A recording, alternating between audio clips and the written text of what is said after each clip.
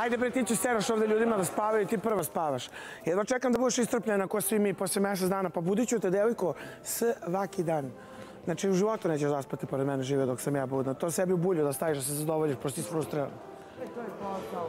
Treba ću gledati kurac. No, da thanks. Uh, she's sleeping, I started yelling, come on, wake up! And I took like the Sherpa and the spoon and I was, yeah, I was like, come on, why are you sleeping here? No sleep.